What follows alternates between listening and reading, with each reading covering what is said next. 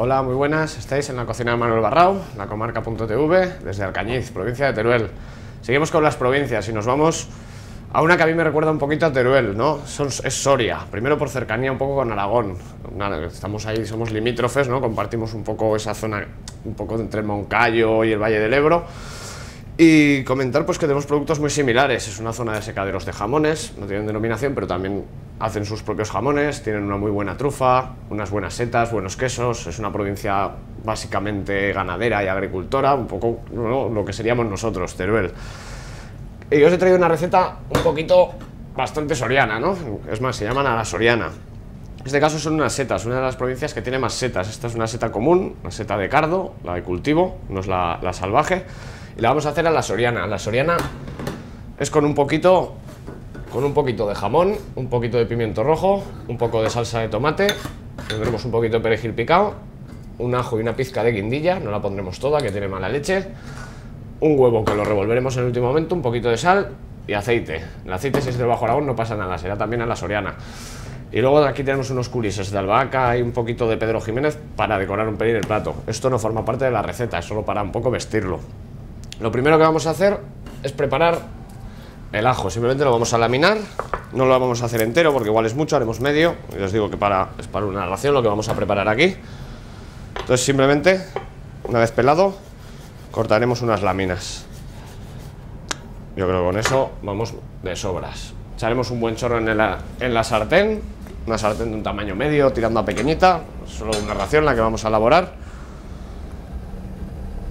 echaremos un buen chorrito de aceite. Lo que vamos a hacer es dejar ese ajo que empieza a sofreír. Lo vamos a dejar muy flojito para evitar que se nos queme. Que se unte bien con el aceite. Y lo dejamos a fuego suave que vaya un poquito sofriendo. Y mientras tanto, nos vamos a ir preparando el jamón en dados y el pimiento en tiras. Para el jamón en dados, cortamos unas tiras, montando los filetes para hacer menos cortes. Y de estas tiras vamos a cortar unos daditos. Lo vamos a reservar mientras se nos va empezando un poquito a coger color el ajo. No hace falta que se nos tueste mucho, pero sí es, importante que nos suelte un poco de color. Que nos deje ese saborcito ajo tostado. Ya sabéis que el ajo tostado, si se nos tuesta en exceso, amarga mucho. Entonces hay que evitar, sobre todo, que se queme. Si se quema, más vale tirar toda la sartén y volver a empezar que aprovechar ese aceite o intentar solo quitar el ajo. El sabor se nos va a quedar igual. Y esto vamos a hacer unas tiras. Una juliana, como va a ser muy larga, la vamos a cortar a la mitad. Y haremos unas tiras finitas para que se nos cocinen un poco más rápido y no tengamos que, alargar mucho el tiempo de la receta. Fijaros, simplemente unas pequeñas tiras. Y lo vamos a juntar ya con el jamón, puesto que lo llevaremos todo a la vez a la sartén.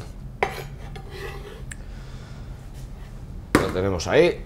Y mira, os voy a ir preparando las setas. Las setas, lógicamente, tienen varios tamaños. Tenemos tamaños grandes, incluso bastante más grandes que estas, casi del doble. Entonces vamos a jugar un poco con el troceado. Por ejemplo, estas de este tamaño las podemos dejar enteras, no nos pasaría nada. Es un tamaño bastante fácil de comer, más porque van a mermar bastante. Pero estas es conveniente trocearlas un poquito. Pues prácticamente las podemos partir, por ejemplo, en tres, estas grandes. Incluso en cuatro o en, o en dos. Pero vamos, depende un poquito del tamaño. Esta en dos, por ejemplo, no sería suficiente. Simplemente estiramos una seta muy frágil, se puede romper con cierta facilidad. Entonces, con la misma mano, nos lo dejamos ya preparado. Y nos vamos para el fuego, para que veáis. Dejo ya por aquí preparado los siguientes pasos. Ahora sí que subo un poco la marcha, ya que vamos a estar aquí controlándolo y podemos arriesgar un poquito más, ¿no? Subiéndole el fuego.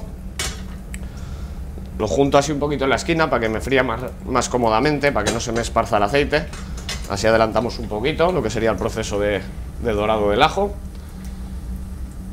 Y fijaros, una vez ya empieza simplemente a coger un pelín de color, le incorporaremos el pimiento y el jamón. Lo revolveremos un poquito. No le vamos a incorporar ahora sal, puesto que el jamón nos va a dar ya ese toque de salazón. Lo que haremos es incorporarla cuando incorporemos el huevo. Del mismo huevo añadiremos ese, poquito de sal que nos haga falta ya. Bien, si os fijáis, lo podemos ir dejando así. Un par de minutitos nada más. No llegará tanto.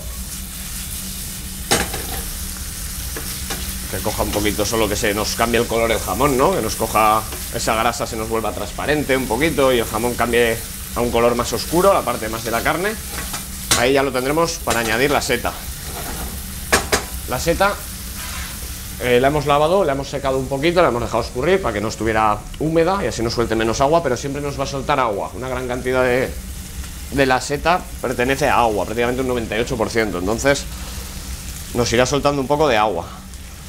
Lo que tenemos que hacer es dejar que se cocine hasta que prácticamente desaparezca el agua de la sartén. Puede tardar alrededor de 4 o 5 minutos. Vamos a ayudarle un poco así con la espátula para que se vaya mezclando Y lo dejamos que vaya un poquito cocinando, aproximadamente, ya os digo, 3-4 minutitos para que suelte un poco ese agua. Mientras tanto, Vamos a picar la guindillita, que la vamos a incorporar a la vez que incorporemos el tomate, incluso un pelín antes para que coja un poco de sofrito. Yo creo que con la mitad nos valdrá de una guindilla. Si, os si no os gusta el picante podéis suprimirla, ¿eh? Eso ya un poco a vuestro gusto. En este caso la receta lo lleva, así que vamos a intentar ser un poco fieles y pondremos un poquito. Fijaros, no, voy a poner ni media, para que así solamente nos realce un poco el gusto, pero no nos, no nos oscurezca con el picante el resto de sabores del plato. Simplemente le añadimos un pelín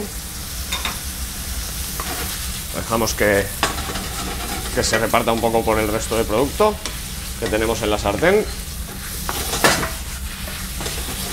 Y seguiremos dejando que vaya pochando un poquito.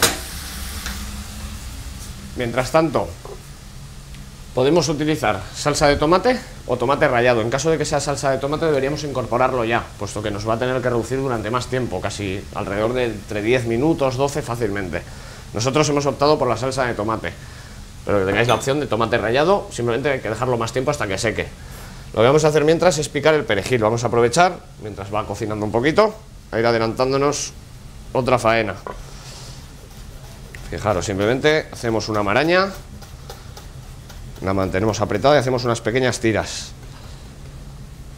Esto lo giramos un poquito y vamos al contrario cortando, para así prácticamente nos quede ya picado en dos veces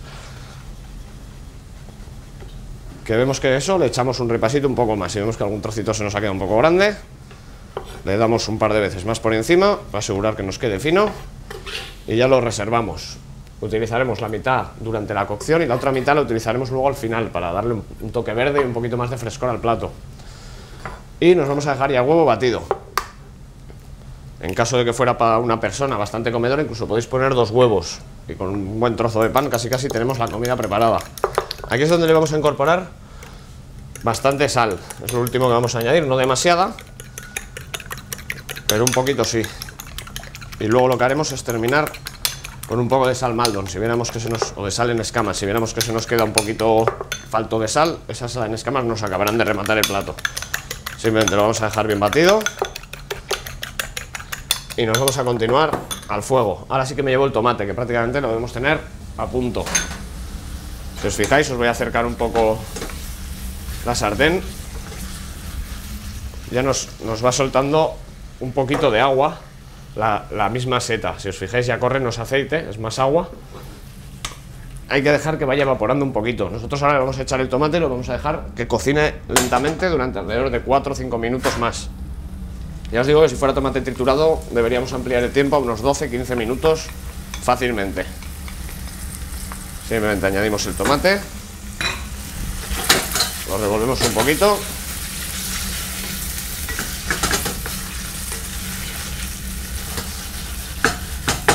Le vamos a bajar el fuego para que se nos vaya cocinando un poco la seta. Y en cosa de 3-4 minutos lo tenemos.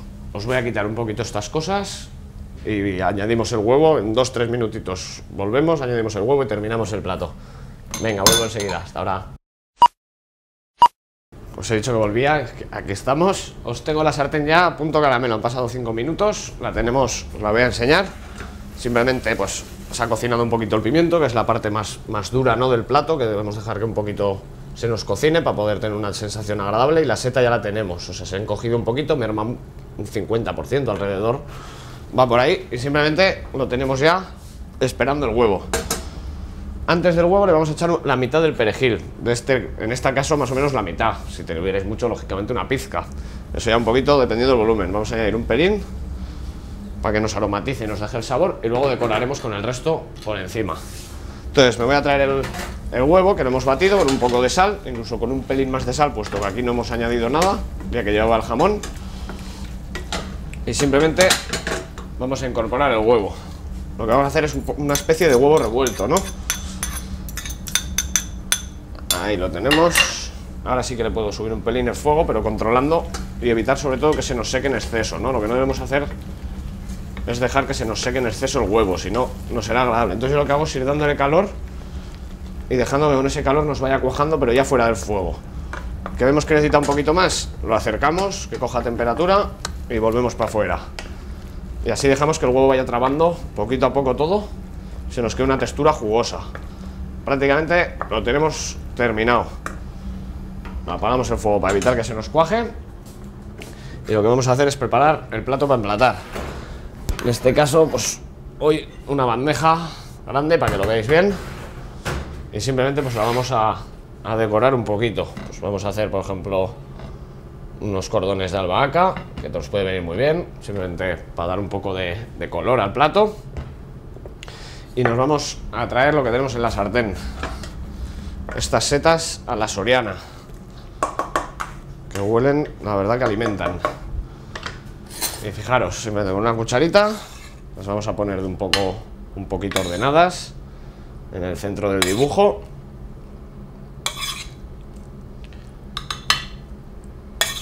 Ahí, otro poquito por aquí. Vamos a dejar una seta para coronar para que se vea un poco el producto base, ¿no? el producto principal de la receta. Os recuerdo son setas a la soriana y os voy a avanzar que la semana que viene nos toca jugar en casa jugamos con la provincia de Teruel así que tenemos que hacer algo un poco que llame la atención, ¿no?